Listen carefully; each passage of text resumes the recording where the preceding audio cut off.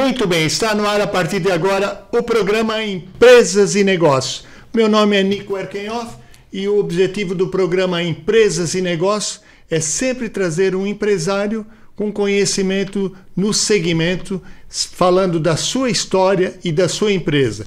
E hoje o nosso convidado especial, nós temos a honra e o prazer e a alegria de, de receber Carlos Girola, mais um empresário aqui de Blumenau, que vai contar a sua história. Tudo bem, Carlos?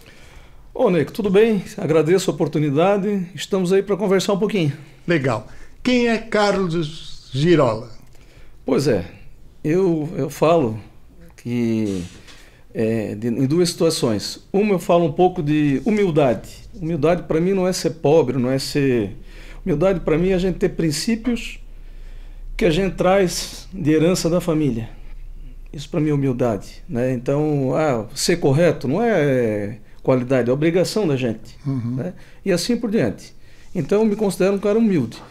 Vim de onde? Vim de uma família de classe média, baixa, talvez até baixa. E hoje estou empreendendo, fazendo minhas, minhas obrigações com a sociedade. Estamos trabalhando. Trabalhando. Legal. Então, para você que está assistindo aí o nosso programa Empresas e Negócios, muito obrigado pelo carinho, muito obrigado pela sua companhia. Estamos aqui com o empresário Carlos Girola e nós vamos falando aqui sobre a sua história, os, a sua vida como empresário.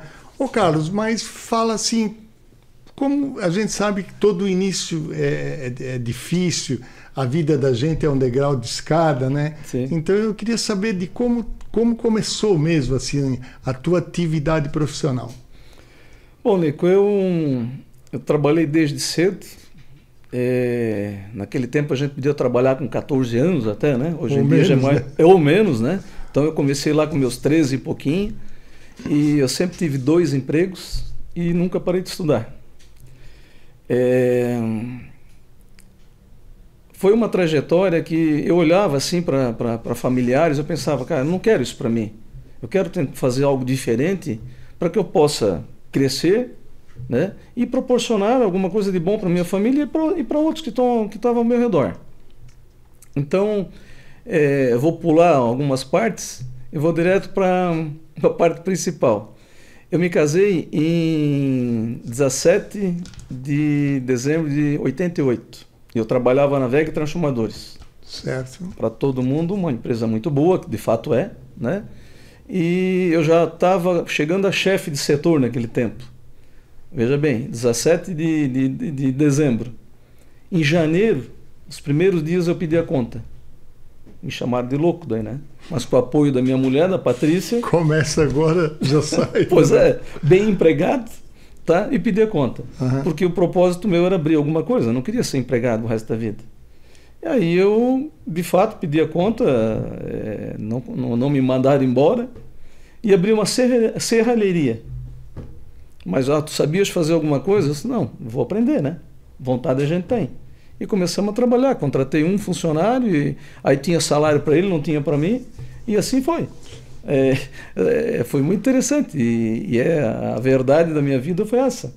E alguns, acho que uns dois anos depois, eu fundei a, a Mega Forte, que era a Mega Forte Indústria, e me tornei é, o maior fornecedor da VEG, da empresa Mega Transformadores do seu Elmo. Elmo Bogo. Exatamente. Então, Pai do é, Éder. O né? Éder, até o hoje é meu amigo. Tem outro irmão dele, como é que eu... É, o Éder... O... Eram. Eram. Eram. Eram é, exatamente. Os dois Estudamos são amigos juntos. da gente. Estudaram juntos. É. Pessoas ótimas, né? E aí então tenho o prazer de dizer que eu me tornei o maior fornecedor deles. Porque eu coloquei na cabeça deles, da VEG também, a terceirização. Eu fui um dos primeiros a começar com isso. Então, ali foi um pouco da história nossa, foi isso aí. Bacana, né? Porque é, é, eu, eu, vejo assim como é importante quando o ser humano é ambicioso, tem ambição, né? Porque é uma coisa que tu começou, eh, teve uma visão diferente, viu que o mercado absorvia esse tipo de coisa e tu foi para cima, né?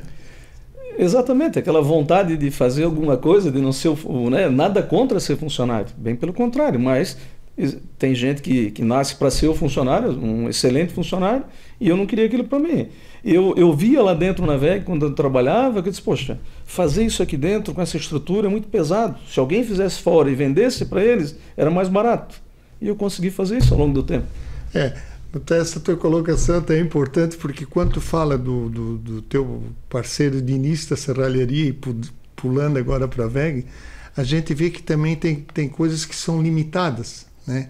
É, tanto na, na mão de obra, quanto na qualificação e quanto no produto. Não, eu só faço até aqui, daqui em diante não é mais comigo. Né? exatamente. Isso é interessante, né? É, é, ao longo do tempo, firmou muito isso né, da terceirização. Uma montadora de carro é assim. Sim. Ela não fabrica tudo, ela tem os parceiros dela certo. e monta. Né? E na, só que na época é, a gente foi pioneiro, porque o pessoal não queria. O seu Elmo né? É, é, ele era contra no começo. O Calinho, Calinho Sim, Bogo Calinho, também. Calinho. É, é, o Calinho já queria fazer. O seu Elmo era mais de fazer interno, né? Mas foram vendo juntos ali que era vantagem fazer. E no final terceirizava-se o que dava, porque eles, eles com isso conseguiam reduzir o número de funcionários, que a carga tributária acabava sendo alta até hoje, uhum. né? e menos encargo trabalhista, menos responsabilidade, e passava isso para as empresas menores. E a gente ficou vários anos. É, isso é, isso é uma coisa que é, é, eu acho que qualquer empresa hoje ela está terceirizando tudo praticamente, até eu acho que por uma questão de logística, às vezes, é, região, né, facilidade, próprios tributos também, né, que, que afetam muito. Mas tu falando do Calinho Bogo, eu me lembrei quando ele namorava com a Magre. Lembra Sim, da Magre? Lembro. Lambreta. Lambreta. vamos mandar um abraço pro Calinho aí, que sempre está aí, é parceiro da gente. Mas enfim, o Carlos, vamos continuando então. Aí foi a Mega. Mega, mega Forte Indústria. Mega Forte Indústria. É isso. E aí? Pois é, ali a gente cresceu bastante, a gente chegou a ter 180 funcionários. Certo. Porque abracei a causa de, de fabricar componentes para transformador. Certo. Então a gente, tirando a parte elétrica, o transformador saía completo dali. E eu atendi o, o Brasil com isso aí, cheguei a exportar, né? Uhum. Aí, bom, é, esse espírito empreendedor e preocupado com, com. Eu tinha uma preocupação porque eu estava atuando num segmento só. Tipo, se esse segmento também depois der problema, ou eu ter problema com a Vega ou com a BB, que depois tornou, uh, virou a BB, a Mega Transformadores. É, resumindo, abri uma importadora, que aí era Mega Forte Importadora. Foi um case de sucesso. É, a gente se tornou também, é um prazer dizer isso, que a gente se tornou o maior fornecedor da Postals, tradicional aqui da região, uhum. é, via Blumenau, essa não tem mais, a Hermes no Rio de Janeiro, enfim, eu atendi o Brasil inteiro. E geralmente esses clientes a gente conseguia se fazer um grande parceiro e se tornava o maior fornecedor. Então, aí surgiu a Mega Forte Importadora. Essa aí também foi, é, como tu falou, o case, mas é engraçado, né, como as coisas mudam tão rápido, né? Assim, o mercado ele, ele exige da gente, né? Então eu, eu admiro até a tua pessoa por ser uma pessoa arrojada, empreendedor e vejo assim que você tem visualização e ah, pô, não dá para cá, vamos pegar outro foco. É como fa falar lá do concentrou só num produto de fabricação. É. Se acabou aquilo, onde é que eu vou ficar? Exatamente. Vou ficar né, é. na estrada. Mas enfim. E aí foi importador e aí foi mudando as empresas e tal.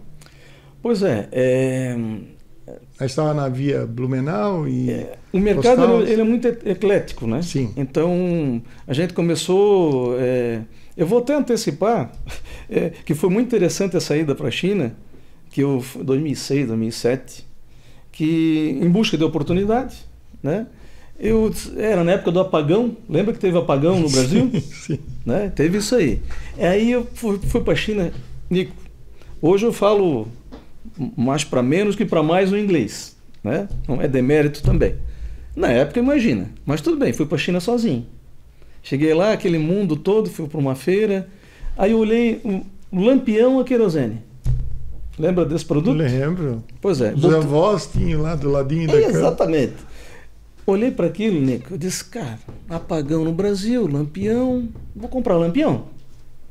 Aí na feira tu não compra nada, tu tem que visitar o fornecedor.